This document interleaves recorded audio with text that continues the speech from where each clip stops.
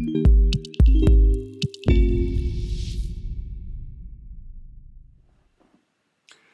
evening and welcome to part five in our course Being With. Tonight we look at the subject of Bible or the Scriptures. Last week we looked at the church, and those two belong together. Uh, when you think about literary inventions, things that are, people write or tell, uh, you can think in terms of three different types or three different genres. First of all, you have what might be called epics. Those are the grand stories that we end well. Uh, think of Homer, the Iliad, or the Odyssey. Think of Tolstoy's War and Peace. Think of Tolkien's Lord of the Rings. They tell a huge overarching narrative in which there are lots of characters, maybe even nations and cultures, and, and a long vista of history. And we find ourselves involved as small part actors within that overarching epic. Um, then you can think also of a second type, which is a lyric, and, and lyrics are more subjective. You describe your thoughts, your moods, your feelings. It's about how you respond and react to the things that are going on around you, but a lot of it is about looking within and describing the landscape of your inner being, so to speak. So you've got the objective epic, which is grander than you, far grander, and also the lyric, which is really about you and how you interact and feel and respond. But if you want to take those two together in probably the most classic type of communication, you're talking about a drama.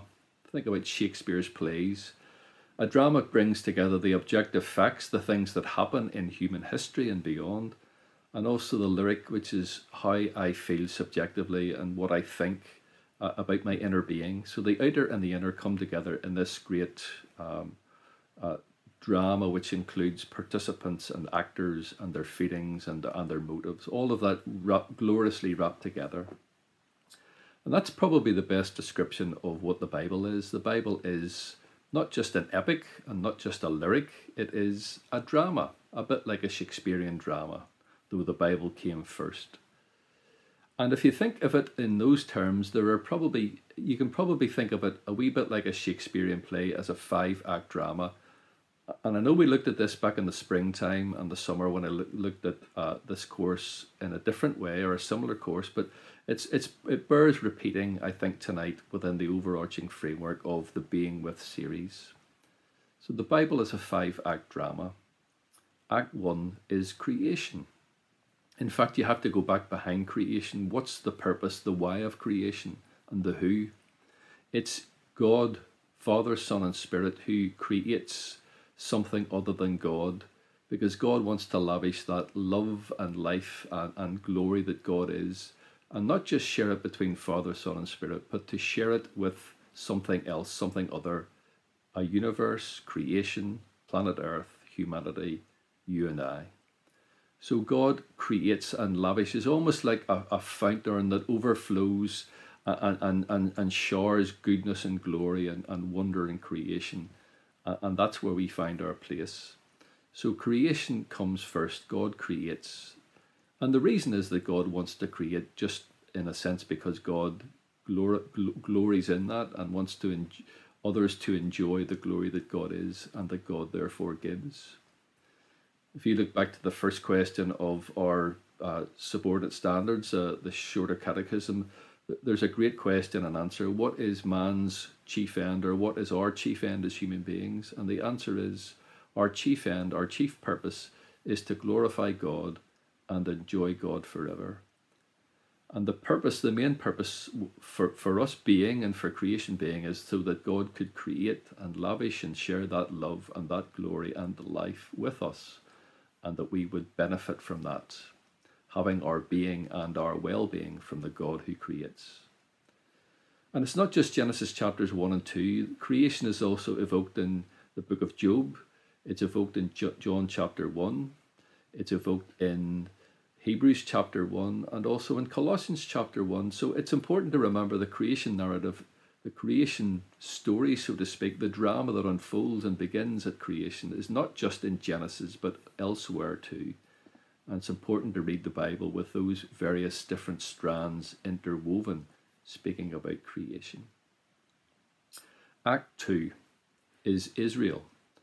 God doesn't just lavish life and love upon us and all creation. God also wants to give a sense of purpose uh, and, and, and shape the story and shape the unfolding drama and give us a purpose, a direction. They give us certain structures uh, so that we're not just, in a sense, left to freely roam the earth and do whatever we please, either by chance discovery or because we find that certain things benefit me or us but perhaps don't benefit others as well. So God decides to do that by choosing one particular people, Israel, first of all through Abraham, or Abram at the time, and his wife Sarah, an old barren couple, and it seems that their creative powers are exhausted.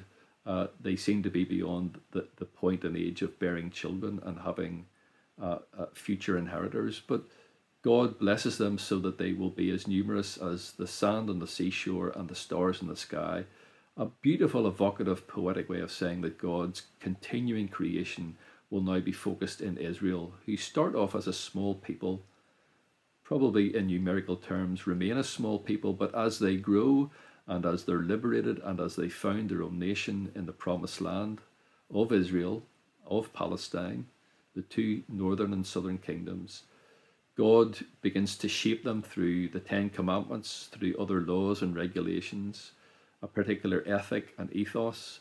In other words, a way of life that reflects something of God's purposes and God's inner being. And, and the story of Israel, the story that the Old Testament tells, is a very sprawling drama or narrative. It's about a God who loves us and has to continually uh, challenge us and discipline us, but always with the ends of love and of that covenant, that promise that is given and kept. And when we break the covenant, when we break God's promises, when we break God's heart, God, because of God's internal nature of being full of grace and love and purpose and forgiveness, as well as justice and, holiness and righteousness, God always uh, acts in ways that will bring us back to our senses and bring us back to God and bring us to community with each other once more. So it's important to remember that Israel is a story of a God who loves us and will never let us go. And when we let go of God and stray and go far away on our own devices, our own pathways, God always calls us back. But it's a painful story both ways.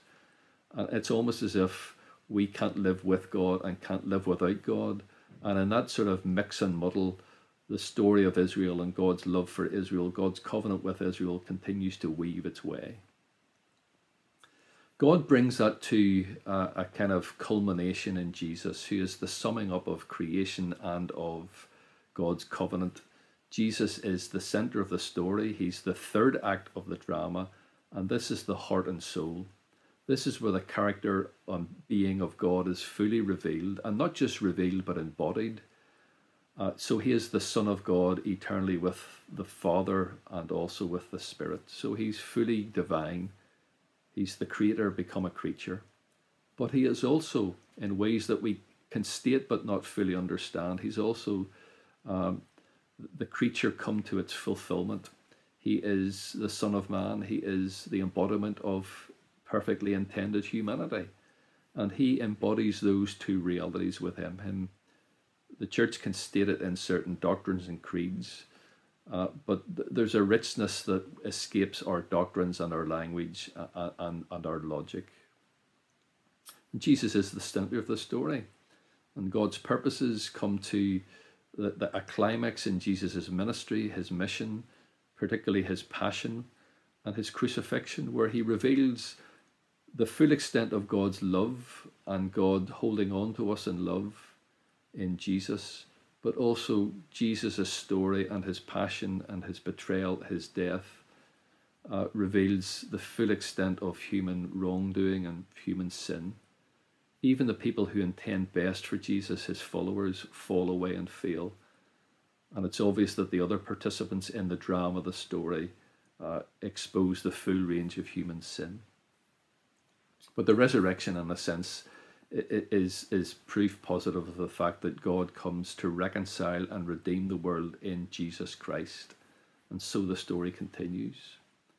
And the story continues into Act 4, where we now come on board as the church. the church that has been in existence for 2,000 years, those who follow Jesus Christ and who are would be faithful disciples and followers, but often fail and are always enmeshed in sin and are full of that sense of simultaneously good and bad, righteous and unrighteous, holy and profane, as we've looked at before. But God continues through the risen Christ, the ascended Christ, and now the giving of the Holy Spirit, especially, to shape the, the life, the mission, the ministry, the, the, the purpose of the church and its life, bearing witness to God's love in Jesus Christ. And that's where we find ourselves as followers of Jesus Christ in our time and place, 2,000 years on, and still continuing. And what we still await and move towards is Act 5, which is the end or the eschaton, which means the last thing or the last things. And that will be the fulfillment, the culmination, the climax, the consummation of all that has gone before. And the great thing about the Christian narrative or drama is that the face that we find on the throne of the universe, when all will be revealed and all will be put right and restored, that end, the person who bears his face on the throne, the risen, ascended, glorified Christ, is the same Jesus, the same Christ that we met on the cross. Uh, and the passion and the agony of that uh, is also matched with the glory and the, the triumph uh, and, the, and the infinite glory of what's yet to come uh, when we see face to face Christ on the throne. So that's the five act drama that gives our lives shape and direction and purpose and hope and meaning. There are probably two mistakes that happen in life the first mistake is that people don't know that drama, that story at all with its five acts. They don't know about creation. They don't know about God's covenant with Israel. They don't know about God coming to us supremely in Jesus Christ as the center of the story, Act 3. They don't know about the church or ignore the church, the fact that the church embodies what God in Christ is and does. And they don't have a clear purpose about what the, the, the direction of it all is eschaton, glory, uh, consummation, a coming kingdom, a new creation, eternal life. So we create our own meaning. We think we're our own self made people, and we try to just squeeze in whatever content, whatever things, whatever joy, whatever possessions we have and, in what will be one life, and then that's it. We'll be snuffed out, and that's our story gone. Um, Ecclesiastes in the Bible reflects that bleakness when it says, Let us eat, drink, and be merry, for tomorrow we die. Uh, there's no prospect of life in the round, eternal life through God and the risen Christ. The other mistake we can make, and this is the mistake that people within the church make, is that we mistake our place in the story for somewhere that's the wrong place. We're now in Act 4. Creation has happened. Israel has happened and continues. Indeed, creation continues too. And Jesus has uh, occurred. All those things happened without us lifting a finger. We had nothing to do with them. They were given as gifts, and we benefit from them, and we stand on their shoulders, so to speak. So we're in Act 4, and all the great things have been done creation, providence, governance, redemption, reconciliation, salvation all of that has been done. That is gift. It is given and offered afresh each and every second of your life. So you don't have to rest the weight of the universe on your shoulders. It's been done. You simply accept it and live with it and try to share and perpetuate the grace and the love of God in Jesus Christ. So take that weight off your shoulder and live in the time between the third act and the fifth act because the best is yet to come and the best is guaranteed to be. So we act in Act 4, perhaps still as part of the early church. The church has been going for 2,000 years, and we think that's an enormously long time, and it is. But the church may well be in existence for millennia and millennia and millennia yet to come. We may yet be in an early phase of the church. So, not everything is set in stone, though we stand on strong foundations. And our lives have been shaped uh, to uh, the, the glorious end in Jesus Christ, the risen, ascended, returning Christ. But in the meantime, we've plenty to give thanks for, but plenty to get on with. Let's not presume that we have to do it all, and let's not presume that God hasn't given us that much because He has. And in our life as the church, He's given us the scriptures, He's given us each other, He's given us tradition, the church's history in the past, He's given us baptism, He's given us the Lord's Supper, He's given us the gift of prayer, the gift of praise, the gift of so many things, focused in worship but lived outside the church, the church's premises too, in the round of life. So let's give thanks for the Bible and its five act drama. Creation, Israel, Jesus, church, and eschaton, and give thanks that the great things have been done, and great things have yet to be done. And within that, we find our place, our purpose, and our meaning. Thanks for tuning in, and we'll look next week at a further aspect of being with.